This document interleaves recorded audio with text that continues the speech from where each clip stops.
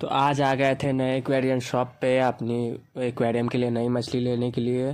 तो ये देखिए, गोरामी और ये है टाइगर टेट्रा टाइगर बार और ये पे रहा ब्लू टेट्रा ब्लू गोरामी।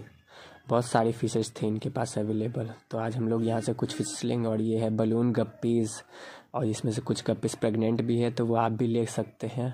और देखो गाइस कितनी प्रेग्नेंट मोलीज भी हैं। और ये देखिए काइट फ़िश जिनको पसंद है, वो भी यहाँ से ले सकते हैं। बहुत सारी मछली तो चारों तरफ़, ये मतलब शॉप है जो नहीं खुली, ये देखिए। टेट्रा गोल्डन टेट्रा जिसको हम लोग ग्लोइंग फ़िश भी बोलते हैं। गोल ग्लोइंग टेट्रा और मतलब यहाँ और भी मतलब सारी फ्रेश मछली थी। फिर आगे चलते हुए हम लोग को तो लेना नहीं था। हम लोग को चाहिए था बड़ा बड़ा गोल्ड फ़िश और ये गोल्डन टेट्रा बहुत ही सस्ते कीमत पे यहाँ मिल रही थी। मतलब बहुत ही सस्ते और क्वालिटी बहुत ही अच्छी थी। और ये ब्लू टाइगर बार ये देखिए बलून गप्पीज़ का पूरा नया स्टॉक आया हुआ है। और ये देखिए जो हम लोग को चाहिए था। ऊपर में ये शार्क फ़िश और नीचे पूरा गोल्डन फ़िश, सारा हेल्दी और सारा सुपर फ़िश भरा हुआ था। तो हमको तो फिर कुछ मॉलीज पैक करवाना था तो देखिए, सारी मॉलीज जो है, सारी मतलब अच्छी हाई ब्रीड क्वालिटी की है।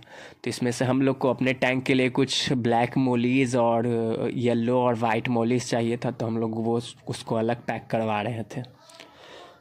तो पैक करवाते करवाते, पता ही नहीं चल रहा था, इतनी तेज़ थी ये सब फिशेस की, हाथी में नहीं आ रही थी। हम तो मतलब एक को चुन पाना बहुत मुश्किल था और टैंक का साइज़ भी कम से कम छः फीट से ज़्यादा ही था। कैसे तैसे करके हम लोग देखिए, कुछ ब्लैक मोलीज मतलब पकड़े हैं जो मतलब पूरा ओवरलोडेड है, तुरंत प्रेग्नेंट है, तुरंत जाते के साथ ही बच्चा दे देगी। तो इसके लिए हम लोग नया सेटअप जाएँगे, उसका वीडियोस तो बाद में आएगा, लेकिन पहले इसको पकड़ने का काम था। और हम लोग बड़ा चेक चुक करवा के मतलब ले रहे थे कि हाँ हम लोग को यही चाहिए। और मतलब आप लोग बताइए कि इसमें से कौन सा कलर बेस्ट लग रहा है मोली फ़िश के लिए। और इतना ही नहीं, देखिए, नीचे वाला मूली तो पकड़ा ही नहीं रहा था उस पर कितना हम लोग किए ट्राई करके तब पकड़ाए और हम लोग साइफन पाइप देखिए, दो, एक पेयर येलो और एक पेयर ब्लैक का हम ले लिए थे और ब्लैक हमको लेना था, लेकिन ब्लैक पकड़ाइए नहीं रहा था वहाँ पर। इतना कोशिश किया पकड़ने का, मेरा दोस्त गया था, वो भी पकड़ने का कोशिश किया बट उससे भी नहीं पकड़ाया। देखिए, एक पेयर और ब्लैक हम लोग ले लिए थे जग में।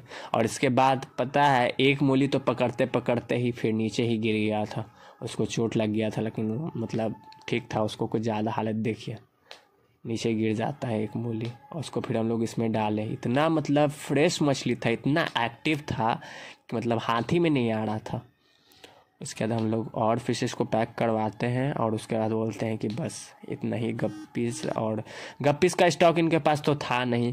इसलिए हम लोग तो आए थे कि गप्पीज मोलीज और कुछ गोल्डन टेट्राज और टाइगर बार लेंगे, लेकिन इनके पास गप्पी का स्टॉक ख़त्म हुआ था तो गोल्ड फ़िश लिए और दस पेयर ये मोलीज का ले लिए, क्योंकि मोलीज अपने पास तो ख़त्म हो गई थी। इसीलिए फिर अब और स्टॉक आएगा तो अब इस बार गप्पीज का टैंक सेटअप होगा अलग से। तब इसको हम लोग ले लिए थे जाकर।